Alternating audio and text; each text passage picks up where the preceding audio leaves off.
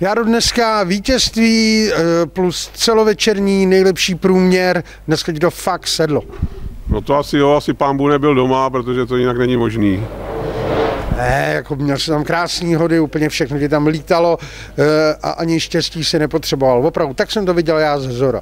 No nebo to je tím, že jsem si asi po pěti letech koupil novou kouli, tak je nějaká zázračná, větší nebo něco takového. No.